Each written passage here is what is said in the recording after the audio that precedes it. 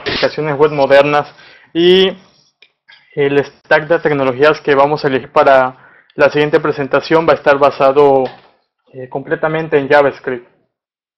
Vamos a empezar por un overview acerca de lo que va a tratar la siguiente charla.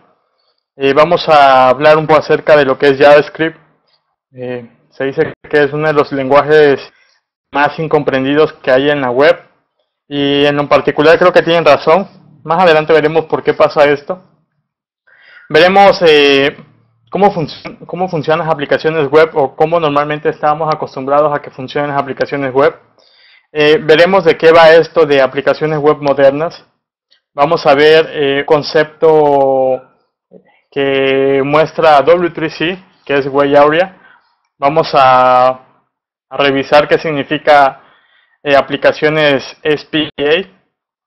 Vamos a conocer también lo que es un min stack y algunas cuestiones acerca de automatización de tareas para el desarrollo eh, en lo que respecta a JavaScript.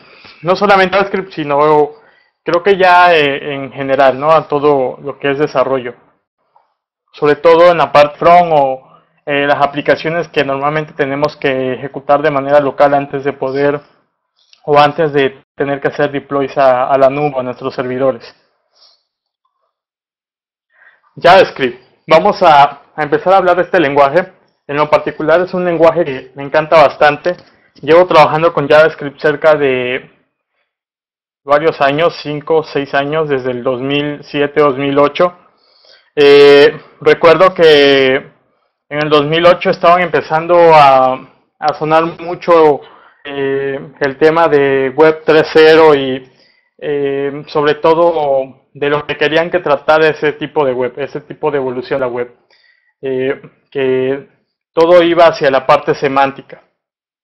Eh, bueno, más adelante, eh, con el transcurrir de los años, hemos logrado contar con un borrador, un borrador que W3C sigue todavía detallando, todavía no está en su versión final, pero sin lugar a dudas hemos, eh, podemos encontrar cosas muy interesantes en lo que respecta a la API de HTML, HTML5 específicamente, que HTML5 se refiere a JavaScript, el HTML en la nueva versión y CSS3. ¿Por qué JavaScript? ¿Qué tiene interesante JavaScript? JavaScript es un lenguaje dinámico, es un lenguaje muy muy ligero, muy rápido, sobre todo porque normalmente lo vamos a, encontrar ejecutándose en, el browser, en el navegador. Es multiplataforma, creo que eh, es una de las grandes cualidades que tiene JavaScript, el ser multiplataforma. Alguna vez escuchaba una frase que JavaScript era el sueño dorado de lo que alguna vez quiso ser Java, porque realmente JavaScript puede ejecutarse en casi cualquier dispositivo. He escuchado incluso acerca de embebidos y prácticamente tiene el mismo funcionamiento porque lo único que hace es eh, usar una máquina virtual que se encarga de compilar todo el código y de ejecutarlo. Bueno, más bien interpretarlo eh, y ejecutarlo.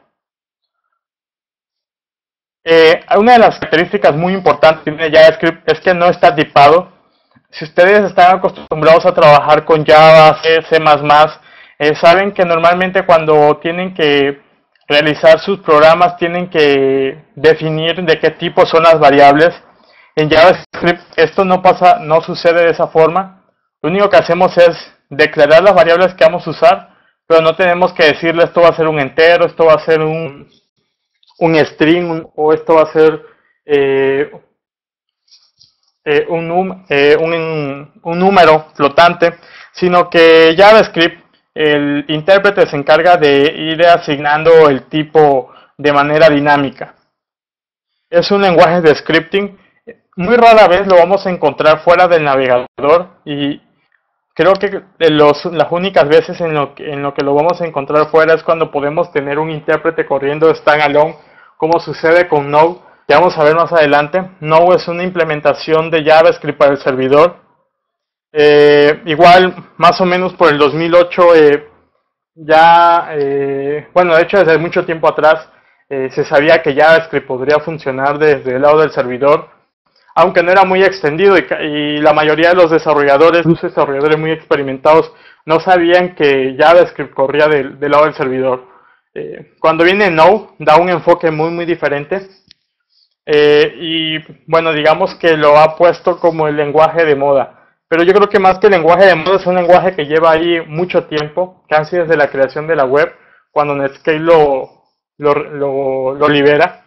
Y bueno, se ha ido puliendo poco a poco. Eh, si han tenido la oportunidad de leer eh, JavaScript y el libro The Good Parts de Douglas Crawford, menciona muchas partes interesantes acerca de JavaScript. Menciona que JavaScript tiene, eh, al ser un lenguaje dinámico y flexible, tiene muchas malas partes, pero que también tiene buenas partes. Eh, lo cual le permite que sea un lenguaje muy útil para resolver ciertos tipos de problemas al momento de, tener que decidir optar por esta tecnología.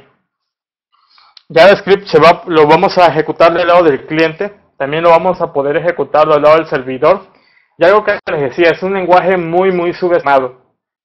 Eh, hay una frase que Douglas Crawford mencionaba en una conferencia eh, donde comentaba que JavaScript es el único lenguaje que él creía en el que la gente sentía que no necesitaba aprenderlo antes de empezar a usarlo.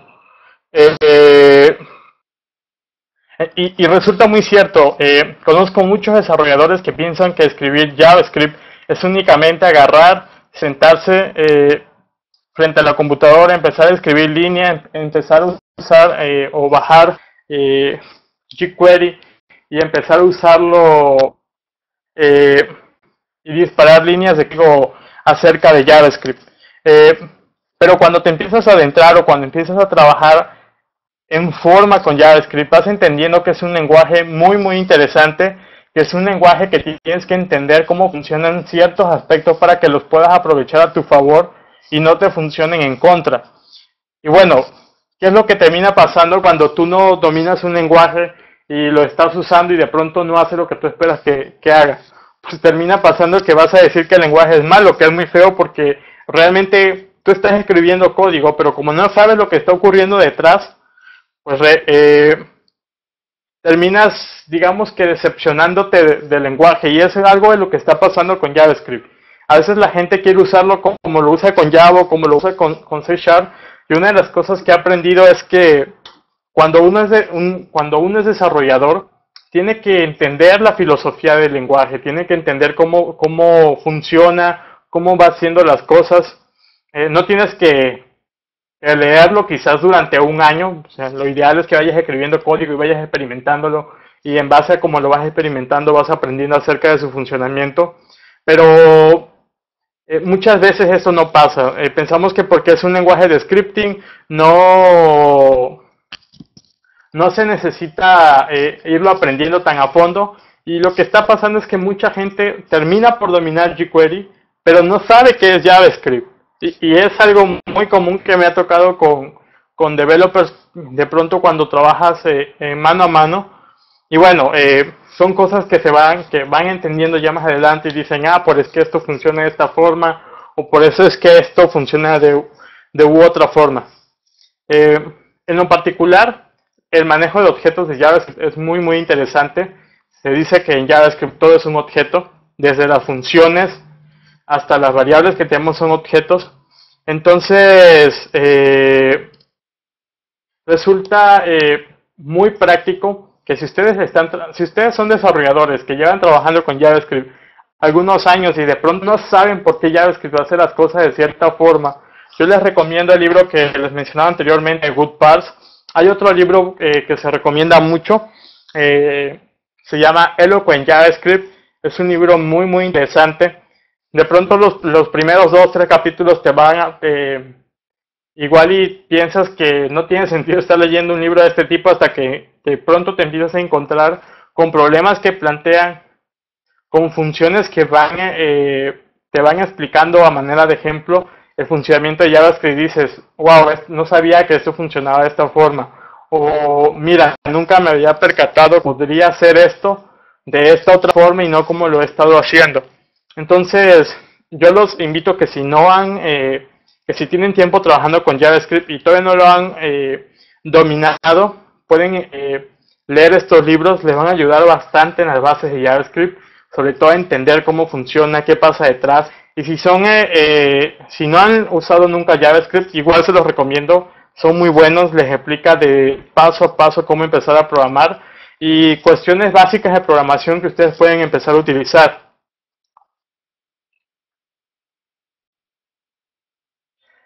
Bien, dicho lo anterior acerca de JavaScript, que es de lo que vamos a, hablar prácticamente durante toda esta sesión, eh, vamos a empezar por hacer un, eh, por centrarnos en cómo funcionan las aplicaciones web.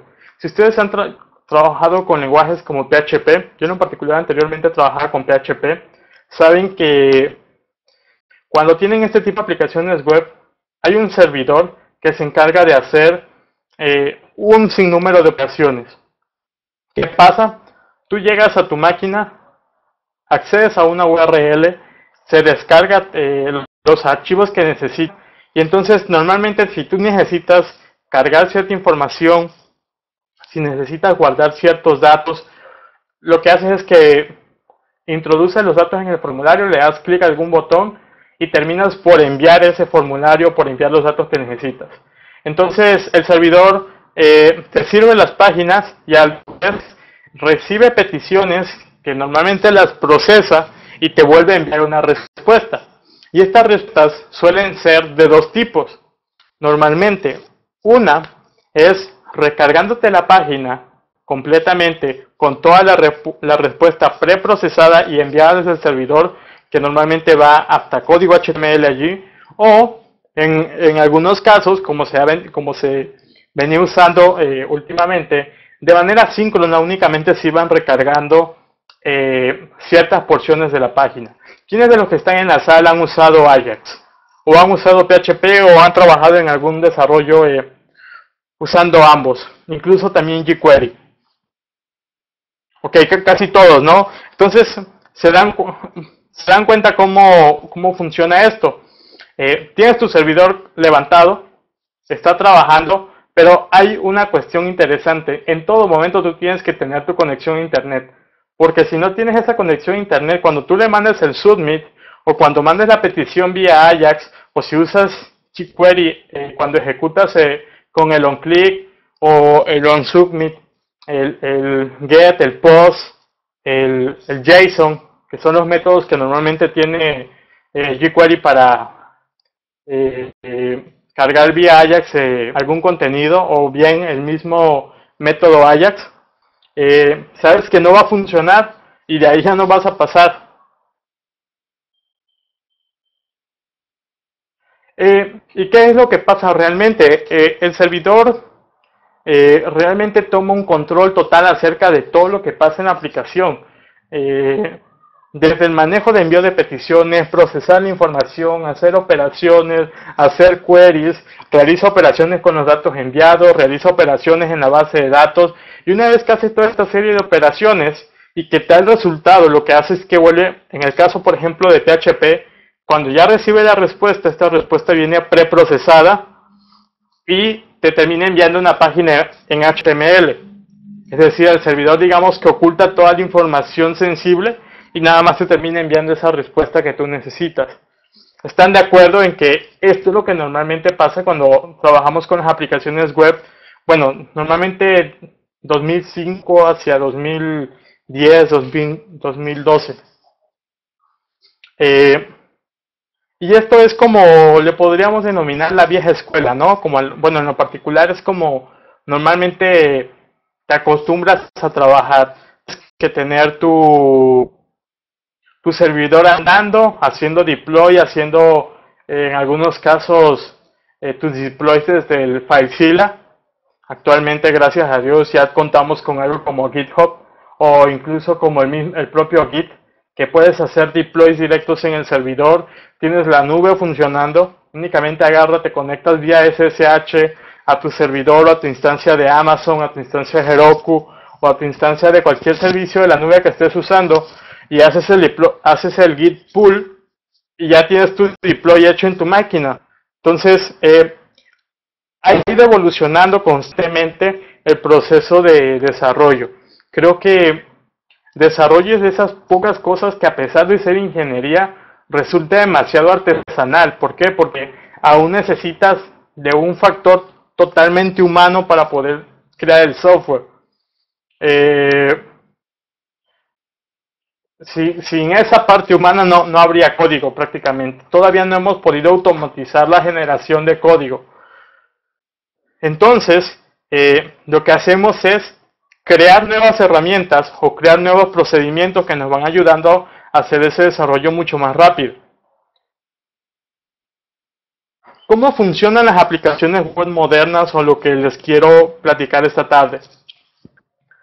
Más adelante vamos a ver un concepto que se llama Way que es una propuesta de W3C, pero desde que yo empecé a escuchar de Ajax o la parte de Web 2.0, había un tema interesante que todas las aplicaciones de web envidiaban de las aplicaciones de escritorio, y era la velocidad de funcionamiento y la experiencia de usuario que tenía eh, el usar una aplicación de escritorio y usar una aplicación vía web.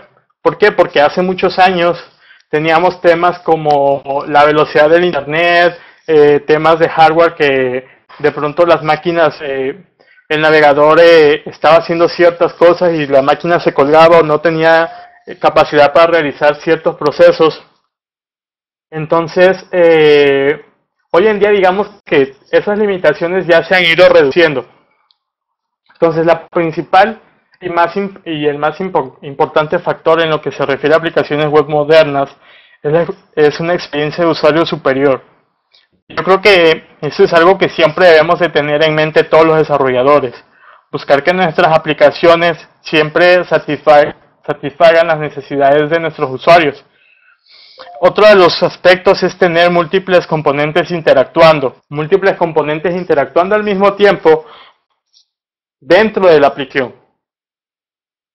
Otro tema es eh, evitar recarga completa de páginas o secciones. Y, esto resulta interesante porque era lo que hacía Ajax.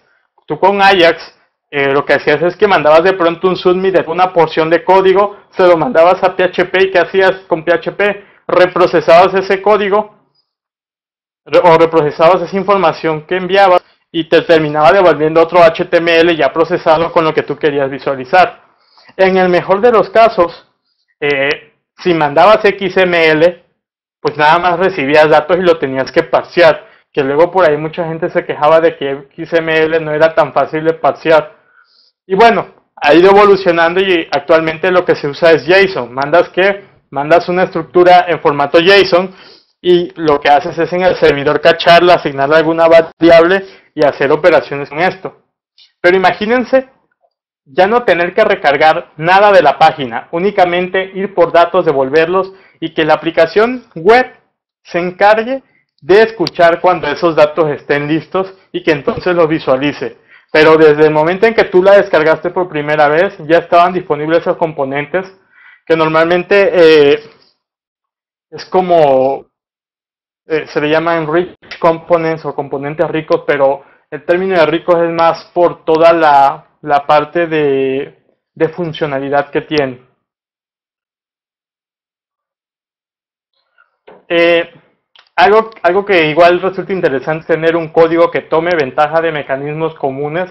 Esto significa que incluso la misma escritura de código se nos haga mucho más fácil y nos vamos a encontrar con algo que es eh, los modelos van a ser la fuente de la verdad en este tipo de aplicaciones. ¿Y qué significa eso? Los modelos es lo único que, va, que nos va a dar datos en nuestra aplicación. Normalmente, bueno, eh, en, una, en experiencia personal, luego pasaba que algunos elementos estaban funcionando o que estaban cargados en la página, ibas, leías el valor de ellos y de ahí tomabas, eh, digamos que el valor de tu modelo. Un tema que últimamente se empezó igual como a, estandarizar más en el desarrollo fue MVC, modelo vista controlador. Y resultaba muy, y resultó muy útil porque lo que tú tenías era definiciones de modelos, vistas, que enviaban información y un pegamento que se llama controlador. Entonces, ¿qué es lo que hacías?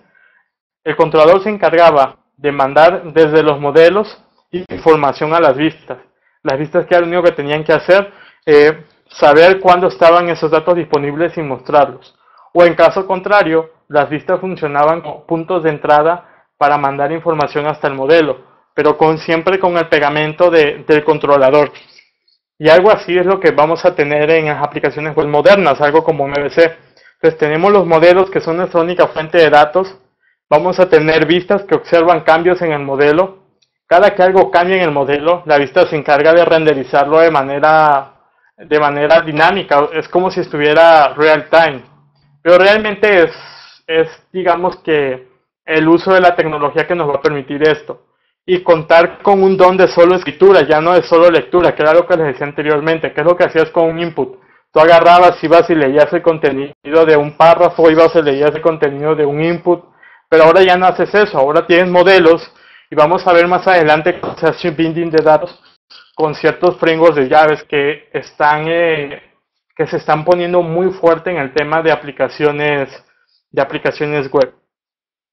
Hasta aquí alguna pregunta?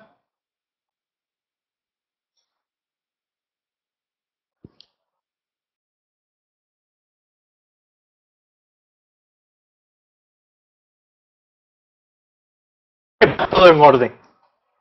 Eh, toda esta parte es porque resulta interesante conocer cómo era el flujo anterior y cómo es el flujo que, se está proponiendo ahora que muchas aplicaciones están usando hoy en día.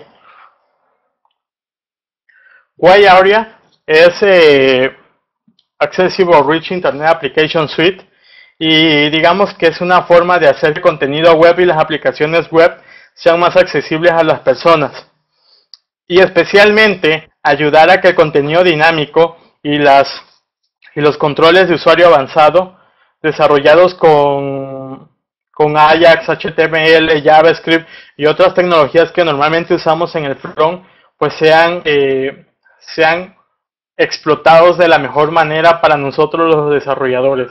Casi toda la parte de web, eh, normalmente cuando viene la transición de web 1.0 a web 2.0, y luego este tema que les comentaba de 3.0, que ya no, no por llamarse 3.0, sino prácticamente se volvió como HTML5.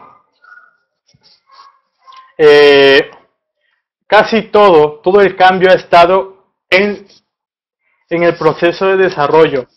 Digo, también los navegadores han evolucionado y todo esto, pero no es que nos tuviéramos que, que comprar una nueva máquina para poder hacer uso de la nueva web. Lo único que se hizo es como cambiar la mentalidad de los developers para que fueran eh, evolucionando hacia el desarrollo de aplicaciones más intuitivas hacia el usuario. Hemos evolucionado de la pantalla de, las consolas eh, que solamente admitían cierta cantidad de comandos a tener eh, expertos en, una, en UI y UX. Y bueno, pantallas e interfaces totalmente usables, el usuario ya ni siquiera tiene que leer un manual, únicamente ve la pantalla y casi entiende lo que tiene que hacer. Y realmente eso es lo que tenemos que, hacer y proponer. Aplicaciones que el usuario con únicamente verlo es capaz de empezar a utilizarlas. Eso es la, la eh, eso es eh, la usabilidad y la accesibilidad no solamente en el aspecto de accesibilidad, en el aspecto de las personas con discapacidades de, algún tipo, sino también con que no, tengan que ser expertos en tecnología para usar las aplicaciones que desarrollamos.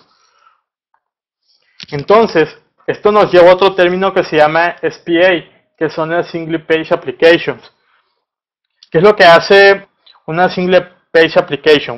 Lo que hace es que el flujo se ejecuta en una sola página y con esto se logra una, una, experiencia de usuario mucho más cercana a contar con una aplicación de escritorio. Sí, es como tener, imagínense, es como tener toda la aplicación en un solo HTML. Estudia, tú vas, te conectas al, al sistema, el sistema baja todos los assets, todos los archivos relacionados Y una vez que todo ya esté en tu, en tu browser y que ya esté desplegado, entonces ya tienes la capacidad de poder trabajar, a menos que tengas que enviar datos al servidor o recibir datos del servidor, eh, tienes toda la aplicación funcionando, es lo que les comentaba hace rato, tienes componentes interactuando entre sí sin tener que depender completamente de Internet. Y esto hace que las aplicaciones sean mucho más útiles para, los usuarios que, usan nuestras aplicaciones. ¿Qué es lo que hace en Clip-Based Applications? Lo que hace es que mueve la lógica desde el servidor, todas esas operaciones que hacíamos en el servidor, ahora tratamos de hacerla del lado del cliente. El rol del servidor evoluciona, ya no es un todólogo, ya no es el controlador de todo, ¿Qué es lo que hace? Funciona como una API de datos pura o bien como un servidor de, o bien sirviendo o manteniendo disponibles ciertos servicios web.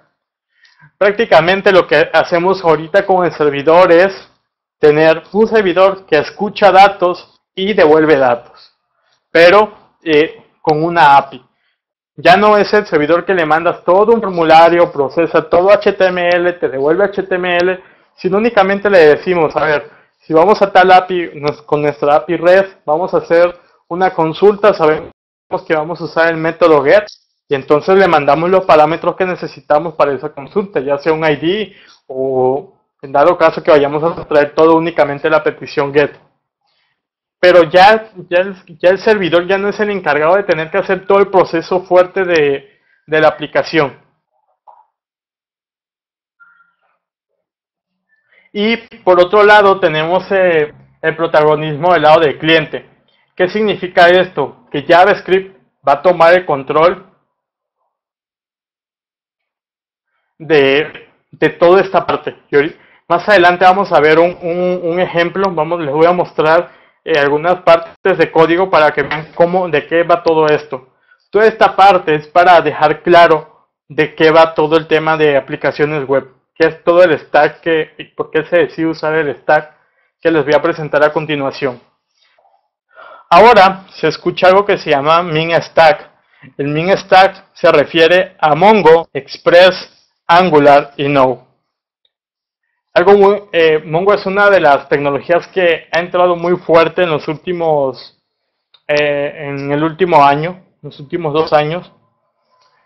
Y bueno, nosotros estamos acostumbrados a a usar eh, normalmente MySQL. Si, tenían este, si normalmente hacían aplicaciones LAM, que era Linux, Apache, MySQL y PHP, pero normalmente todo el concepto que tenemos de SQL, si, son ingenieros van a recordar todas las clases de, de teoría de conjuntos. SQL es pura teoría de conjuntos. Tal elemento pertenece a tal otro, entonces hacemos un de estos elementos con estos datos, pero todo eso es, eh, así es como funciona SQL. MongoDB propone algo que se llama, bueno, o algo que se conoce como base de datos no relacional, que es no SQL. Es una estructura que se basa en documentos. Normalmente, en, si usted, les voy a hacer una comparación con MySQL. Ustedes tienen registros en MySQL y en MySQL ustedes deciden que ciertos datos son obligatorios y saben que cuando ustedes consulten todos los datos, todos los registros que les devuelva una consulta van a ser consistentes, al menos en los campos que van a devolver. Ya sea que tengan datos o que, tengan datos eh, almacenados eh, dependiendo del tipo que sea cada, cada, campo, o bien, en dado caso que no contaran con datos o que no se les proporcionó algún dato, normalmente le decimos eh, algún default para que para que en el caso de que el usuario o bien la aplicación no le asigne un dato, el mismo motor se lo asigne. En Mongo no pasa así. En Mongo ya no tenemos registros, tenemos como tal documentos. Y lo que pasa en MySQL de que un registro tenía que ser igual a otro, en Mongo no se necesita cumplir. Entonces, ¿qué pasa? Tú puedes tener n cantidad de registros que aquí se llaman documentos y pueden tener estructuras totalmente diferentes aunque eso de totalmente diferentes es, es, es una forma de decirlo, porque realmente cuando estás eh, creando tu diseño de base de datos con Mongo, sabes que en algún momento todos esos datos tienen que coincidir. Pero, por ejemplo, imagínense que tienen documentos de, usuarios y de pronto esos usuarios tienen información acerca de enfermedades que pudieran presentar. Y enfermedades es un campo que es de tipo objeto y va a tener dentro de él una lista de enfermedades. O bien puede no tener ninguna lista y ni siquiera estar eh, en los siguientes documentos, solamente va, lo van a tener aquellos documentos con usuarios que presentan o registraron alguna enfermedad. Eh, y algo que usa Mongo es, es el formato JSON en forma binaria denominado JSON. Se pueden ejecutar operaciones JavaScript, tenemos flexibilidad y si ustedes quieren usarlo con Mongo, digo con Node, tienen drivers para, utilizarlo como es Mongo sí o un driver de manera nativa.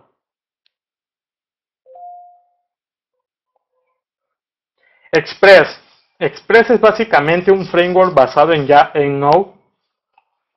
Nos va a permitir tener servidores HTTP y también, también crear APIs REST de una manera muy, muy fácil. Vamos a contar con Angular. Angular es un framework, eh, en lo particular me gusta mucho lo que hace. Yo había visto una propuesta no parecida, similar, algo muy, muy similar a lo que hace muchos años atrás con Adobe. Ellos le llamaban eh, spray a ese a ese que tenían, pero en, en, teoría era muy, era muy, eran muy parecidos, porque lo que tenían eran como ciertos templates y ciertas marcas que tú usabas en el HTML, donde tú tenías, eh, Adobe le llamaba record set, que aquí le llamamos modelos. Pero cuando yo conocí, conocí Angular, se me, se me hizo muy parecido a lo que proponía con Spray.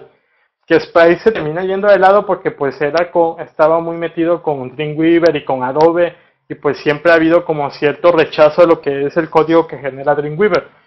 para ser sinceros, en los últimos años ha mejorado ya que el mismo Adobe tiene desarrolladores metidos en, eh, en jQuery Mobile. Entonces, digamos que han mejorado mucho esa parte. Entonces, Angular termina siendo un framework JavaScript para el cliente, propone MVC, funciona utilizando Single Page Applications, está soportado por Google y aquí vamos a poder usar modelos, vamos a poder usar promesas, controladores.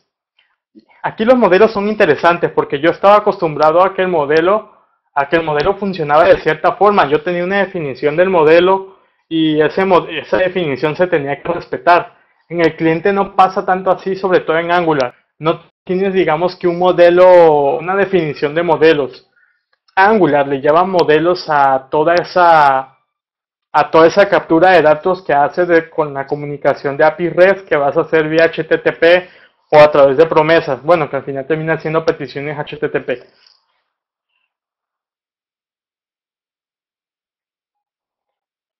Y no, bueno, no es el entorno de desarrollo JavaScript, está basado en V8, es no bloqueante, manejo de eventos y aplicaciones real time. ¿Alguien de los que aquí ha usado No antes?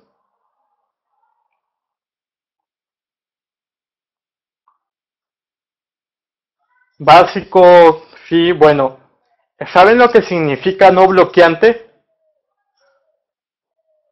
Los que han usado ¿Saben lo que significa bloquear cuando hablan de, de no?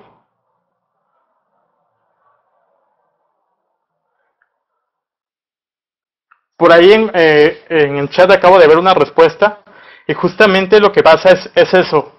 Eh, cuando tú empiezas a usar no de manera básica, pues te lees lo que dice la introducción y lo empiezas a usar y todo. Pero una cualidad muy interesante de no es la parte de no bloqueante. Les voy a explicar cómo funciona esto. Miren, a mí me pasó lo mismo. Eh, de hecho, me tuve que meter mucho como al tema de investigar por qué es que se llamaba no bloqueante. Eh, y, y, es muy interesante qué es lo que quiere decir que es no bloqueante. Imagínense esto, imagínense un servidor Apache. En un servidor Apache con PHP, ustedes tienen 30.000 consultas. Cuando esas 30.000 consultas se ejecutan lo que hace el servidor es que abre 30.000 hilos al mismo tiempo. Es decir, cada, cada consulta es un hilo que está abierto. En cambio, no lo que hace es que dice, a ver, ¿cuántas consultas me están llegando? Recibe las mismas 30.000 consultas y lo que hace es que dice, a ver, con un hilo yo puedo manejar más o menos 26.500 consultas. Oye, ya viene la 26.501, por ejemplo. ¿Sabes qué? Necesito activar otro hilo para manejar esas consultas que no, que no sé controlar. Entonces, eh, a eso se le llama no bloqueante. ¿Cómo funciona No? Con cada consulta que levanta, no, pero con cada petición que recibe, no, va, no, no genera un hilo diferente. Lo que hace es como ir acumulando en un mismo hilo un cierto nivel de peticiones que puede soportar y cuando ya digamos que siente que ya no va a soportar más peticiones, abre un nuevo hilo para controlar el resto de peticiones.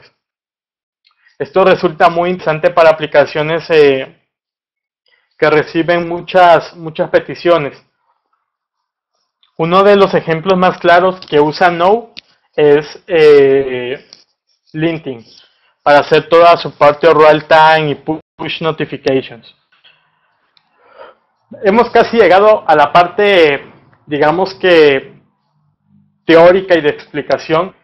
Por último, vamos a, a tener la automatización de procesos. Cuando estamos desarrollando, necesitamos que ciertos procesos sean pues en automático. ¿Por qué? Porque normalmente lo vamos a hacer una y otra y otra vez. Les voy a poner el siguiente ejemplo. Imagínense que ustedes trabajan por proyectos y que de pronto es la enunciada aplicación que tienen que hacer con No, con Express, y es el mismo stat que utilizaron en la aplicación anterior. ¿Qué hacen? Crean toda su estructura de carpetas, crean todos sus archivos, su servidor, pero no tenemos por qué tener que hacer esto manual cada vez que vamos a empezar un nuevo proyecto. Y lo que y existe algo que es un proyecto denominado YoMine que utiliza Yo, Grum y Bower para automatizar toda esta parte del desarrollo. Desde el scaffolding de un proyecto, tener tareas eh, automatizadas, así como hacer el manejo de dependencias que vamos utilizando en un proyecto. Y a esto se le llama Yoman. Bueno, Yoman es una de las propuestas más usadas que proponen eh, developers como Adios Mani o Paul que resultan muy interesantes en el proceso de desarrollo. Y lo vamos a ver a continuación. ¿Qué es lo que hace Yoman? Tiene un, un workflow de desarrollo estandarizado, un manejo de configuraciones entre ambiente, tenemos un generador de aplicaciones, contamos con tareas automatizadas, construcción, previsualización y pruebas, y manejo de dependencias utilizadas. Para usar Yoman, lo único que tenemos que hacer, obviamente, es tener instalado Node. Entonces, una vez que tenemos instalado Node, vamos a usar npm como nuestro gestor de paquetes y terminamos instalando Yoman con el comando npm install g yo. Luego vamos a tener, si necesitamos, por ejemplo, un generador, eh, vamos a instalar el generador con npm install g. g significa global. Si ustedes no ponen este, este parámetro al momento de, escribir el npm install, lo que va a hacer es que este generador se va a instalar de forma local, es decir, en la carpeta en la que ustedes estén en ese momento en sola. Entonces usamos "-g para que lo mande como global del sistema. Se instala en las, en las instalaciones de Node y a partir de ahí lo tenemos disponible en cualquier lugar de nuestro sistema en el que deseemos trabajar. Simple, resulta muy simple esto. Luego, ¿cómo usamos Yoman en un proyecto? Muy sencillo. Imagínense que yo necesito crear una web app y lo único que tengo que hacer para hacer el scaffolding es decir, yo web app. Si quiero añadir una dependencia a un proyecto, ya sea jQuery Mobile, ya sea underscore, require, etc., lo único que hago es escribir Bower Insta.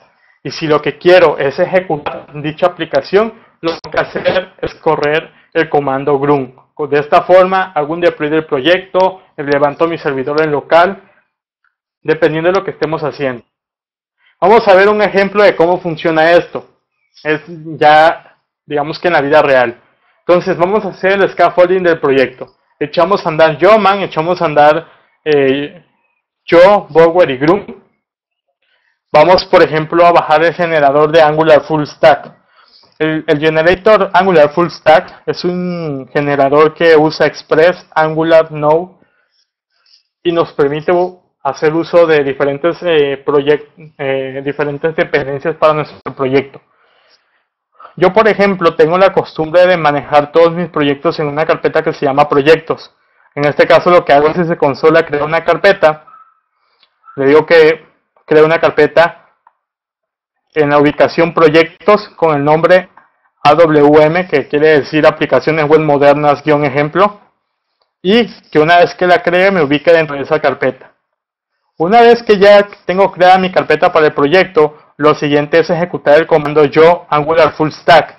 Si quiero darle un nombre a esa aplicación, lo único que tengo que hacer es ponerle un nombre, por ejemplo, eh, aplicación de aplicación médica, mi primera app, que ustedes quieran poner. Y cuando ustedes hacen esto, se van a encontrar algo muy parecido a lo que están viendo en pantalla ahora. Les aparece eh, el generador de Yoman y les pregunta si ustedes, por ejemplo, quieren incluir eh, SAS para su proyecto. En este caso yo le dije que sí y que también quería incluir Bootstrap y que además quería la versión de SAS de Bootstrap. Además de eso, yo le dije que necesitaba usar Angular Resource, Angular Cookies, Angular Sanitize y Angular Roots para este proyecto. Una vez que tengo definido esto, me pregunta si yo quiero usar MongoDB.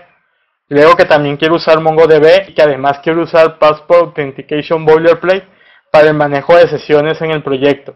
Ya sea porque voy a incluir sesiones simples o bien voy a conectarme con alguna API como, como Gmail o, o Facebook. Una vez que tengo esto hecho, lo único que tengo que hacer es ejecutar grunt serve. Con grunt serve eh, lo que va a hacer es que va a ejecutar un, un, cierto número de tareas.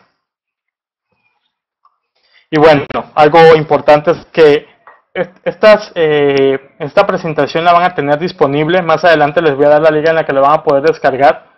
Eh, pero si ustedes van a ejecutar este ejemplo, necesitan saber que se está asumiendo que ustedes ya tienen MongoDB instalado y que además lo tienen configurado y que lo necesitan tener levantado. Normalmente MongoDB se levanta con el comando mongod y lo tenemos normalmente levantado en una, en una pestaña diferente. Entonces lo que hago al correr grunt serve es que empiece a ejecutar las tareas configuradas en el, en el, en el file. En este caso me está levantando también el servidor que es localhost, por ejemplo está apuntando en el, en el puerto 9000 y por detrás ya tengo una aplicación de ejemplo, que es la que vamos a ver a continuación. Todo esto con tres simples comandos. Entonces, a esto se refiere, eh, bueno, digamos que esto está usando un stack y además está basado en Single Page Applications. Por detrás está funcionando qué cosa? Todo un servidor configurado en Express con Node, una conexión de base de datos a MongoDB está también sirviendo una serie de, URLs como, como API y también nos está funcionando como servidor para mostrarnos los archivos HTML que estamos usando. La estructura que vamos a entrar es la siguiente. Vamos a tener una carpeta que se llama app, donde va toda la cuestión del cliente. Vamos a tener un archivo que se llama server, que es donde se configura el servidor que estamos usando. Este esta carpeta de lib tiene todo lo que se refiere a la configuración de este servidor. Si ustedes usan TDD o, usan eh, eh, o crean eh, test unitarios, los van a poder escribir en la carpeta de test. Allí van a ir. Tenemos también nuestro grunt file, que es todo el archivo de tareas automatizadas Power JSON, que es todas las dependencias que vamos a usar. Y bien, aquí vamos a tener algo como eh, cómo funciona Angular, por ejemplo. Angular lo que hace es que nos va a permitir, yo les decía, vamos a tener vistas vamos a tener vistas que escucha cuando un modelo cambia y entonces ejecuta cierta acción. En este caso, esto es una estructura de Angular y le está diciendo que cuando esto exista, cuando exista un error, por ejemplo, form.password.error.mongosi, es decir, cuando ocurre un error de Mongosi, entonces va a mostrar ese párrafo con el texto del error. También vamos a poder configurar rutas.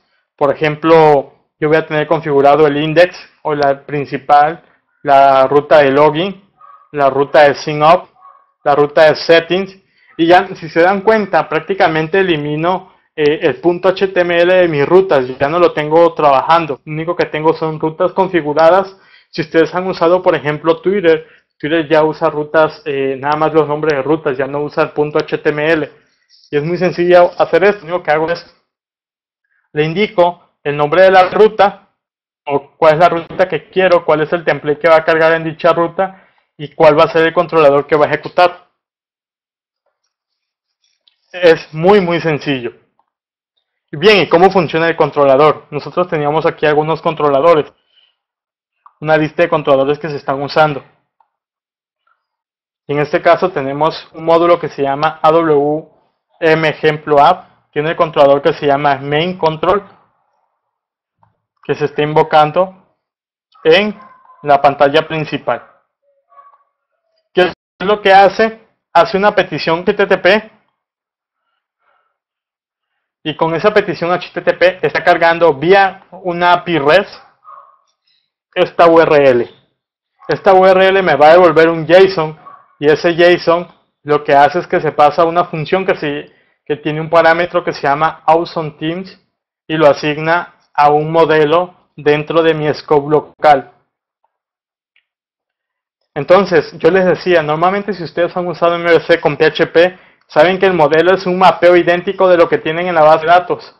Pero aquí, en el cliente, eh, el modelo es normalmente lo que nosotros recibimos de nuestras peticiones HTTP. Entonces ya viene configurado y lo único que hacemos con eso es trabajar. Scope es la nomenclatura que usa Angular para poder acceder, digamos que, al modelo local. Cada que nosotros estamos en un controlador, tenemos disponible el scope y del scope hacia adentro podemos ir manejando los modelos que necesitemos. En este caso, Awesome Teams es la respuesta de una promesa que bueno, de una petición HTTP que se llevó a cabo. HTTP GET cargó la URL y cuando fue lectosa, ejecutó la función de asignar a scope.awesomeTeams la variable que fue pasada en el success. ¿Ok? Entonces, eso es súper, súper sencillo. Eh, les voy a pasar la URL de, de, este, de esto, cómo funciona. Hay algo muy interesante, las promesas.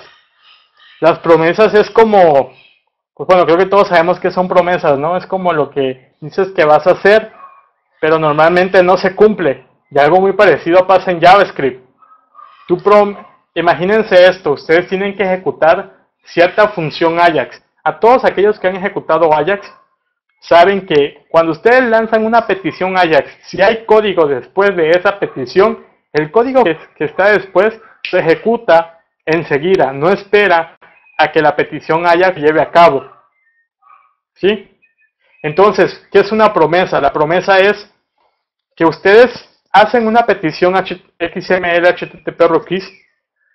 Entonces, eh, si ustedes necesitan que se ejecute un bloque de código, pero necesitan justamente el valor que les va a retornar esa petición Ajax, lo que van a tener que hacer son promesas. En este caso, va a ser una petición de login. Y lo que hace al final es meterlo en una promesa. ¿Qué significa? Que lo que, que vamos a tener un código que va a esperar a que se haga esa ejecución y una vez que se haga esa ejecución va a ejecutar otro número de operaciones. En este caso, fíjense bien, este, esta función de aquí está ligada a esta función que estamos viendo a continuación. Entonces lo que tenemos es el servicio out que es donde está declarada la promesa, le decimos scope login, cargamos out.login y le Primero le configuramos los objetos que le vamos a mandar. Como ese login, pues le mandamos... Este código de aquí es la implementación de la promesa. Es decir, ya usando, la, la promesa es esta. La promesa es esto que le está diciendo que ejecute esto con estos datos y que luego haga esta operación.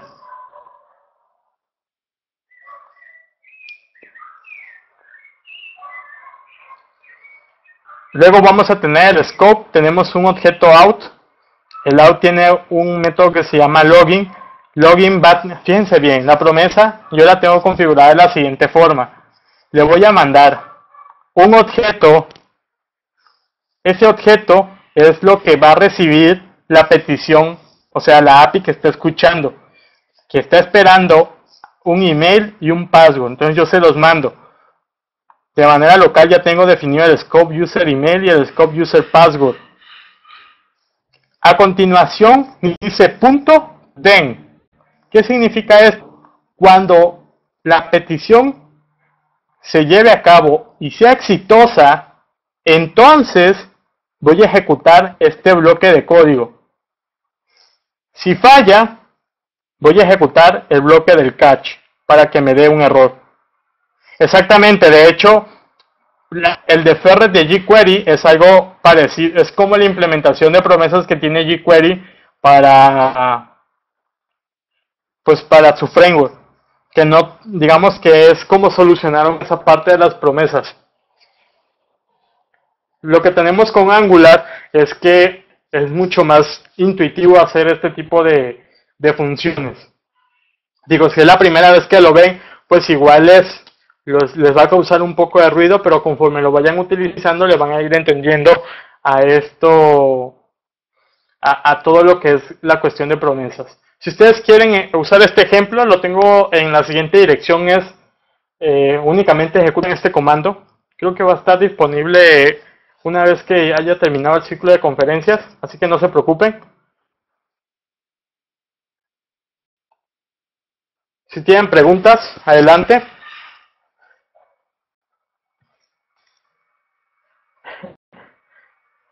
Bueno, ¿qué es una promesa? Prácticamente eso, Ismael. Eh, una promesa es eh, una función, una petición que nosotros mandamos al servidor y que nos aseguramos que se va a ejecutar primero esa petición antes de cualquier otro fragmento de código.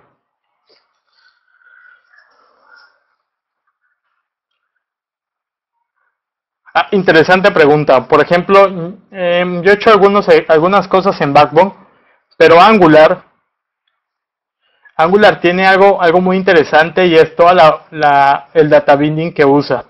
Realmente hacer single page applications con, con Angular es muy muy simple y el mantenimiento no tienen idea, es súper genial. O sea, es muy muy bueno. A diferencia de mantener una aplicación con Backbone, eh, digamos que resulta un poco más tedioso. Eso sin contar que el partner que tienen detrás pues es, digamos, uno de los partners más importantes en el desarrollo de web, ¿no? Que es Google. Realmente la, la gente de, de Angular está trabajando muy fuerte para, para llevar adelante todo lo que significa, todo lo que es Single Page Applications y, y Angular.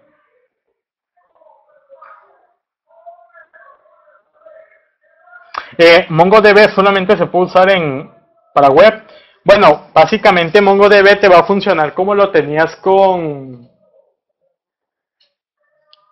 Como usabas MySQL, que era lo que hacías con MySQL, levantabas un servidor y ese servidor estaba, estaba vivo y entonces a partir de ahí tú podías hacerle las operaciones SQL. Es lo mismo que pasa con Mongo. Eh, si tú, por ejemplo, usas Java u otro, lo único que vas a tener que usar es un driver para conectarte a Mongo y poderle mandar las operaciones JavaScript a través de ese driver. O lo puedes tener en local, no, no, no necesitas ser únicamente web.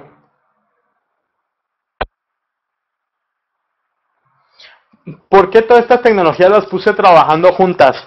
¿Solamente trabajan así juntas? La respuesta es sencilla, no. No, no, necesitan una de la otra para trabajar, salvo Express, que necesita de no, porque pues obviamente Express es un de no, Pero lo, todo el stack que les propongo a continuación es porque satisface el título de la, de la plática, que es aplicaciones web modernas con JavaScript. MongoDB usa JavaScript. Eh, Angular es JavaScript. Express y No es JavaScript. Entonces, toda la, todo el stack está basado en, en JavaScript. Ustedes los pueden usar independientemente, por ejemplo, Angular con .NET, con cualquier otra tecnología. Normalmente, una de las cosas que se usaba, donde estaba anteriormente para hacer seguros de una institución bancaria, pues no menos importante de aquí del país, era Java, todo, toda la parte de back en Java y toda la parte de front utilizando Angular. Y en nuestros ambientes locales en algunas ocasiones usábamos Node para simular las respuestas del servidor de Java, pero ya que era iba a producción, era un back trabajando en Java con JCP, incrustando las porciones de JavaScript.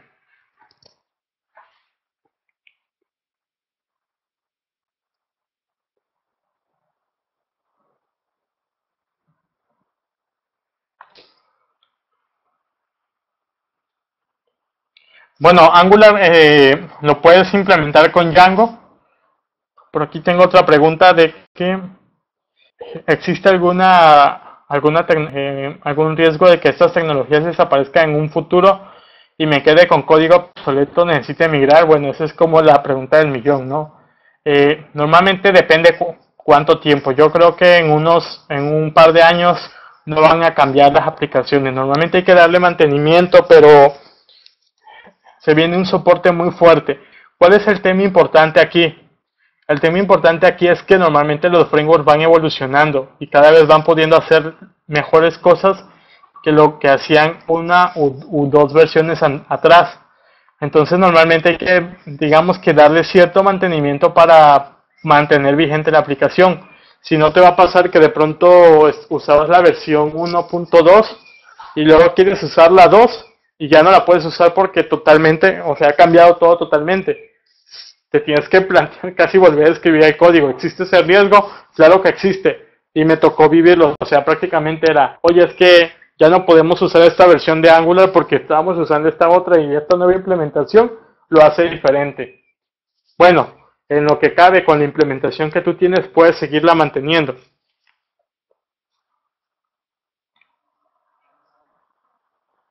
¿Qué usos tienen? Juan Ramón eh, pregunta qué usos tienen actualmente estas tecnologías y dónde podemos aprender a usarlas. Eh, Juan Ramón, ¿qué usos tienen? Les daba un ejemplo al inicio. LinkedIn es una de las empresas que está apostando fuerte por No, por toda la parte de real time, eh, real time perdón.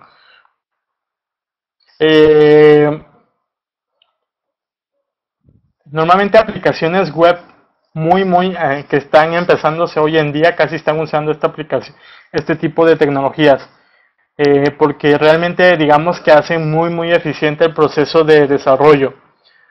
Ahora, si tu pregunta, bueno, cambiándole un poco más el no es, esto puede sustituir a PHP o puede sustituir a Rails o puede sustituir a, a Java. Mi respuesta a eso sería, normalmente cada tecnología la usamos para resolver ciertos tipos de problemas.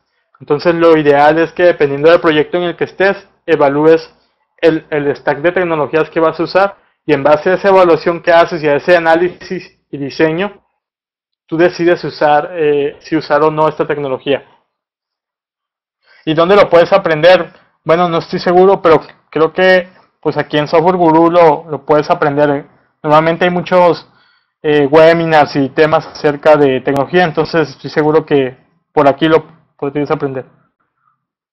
Con Symfony, sí, sí se puede integrar, Ana. Yo lo integré con Cake Angular, funcionó muy bien.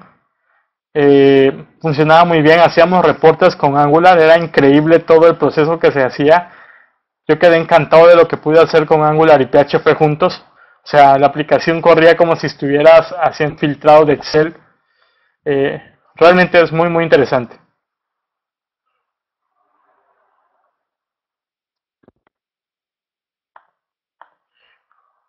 Bueno, creo que tenemos que cerrar.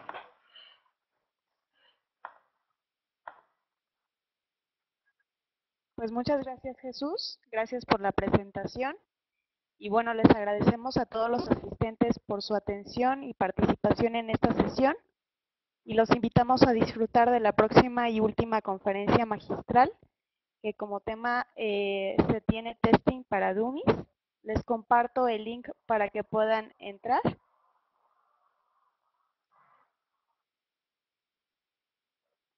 Y bien, eh, si desean contactar a, a, Jesús por cualquier duda, aquí se tienen sus datos, te contacto. sí, cualquier duda a mi Twitter,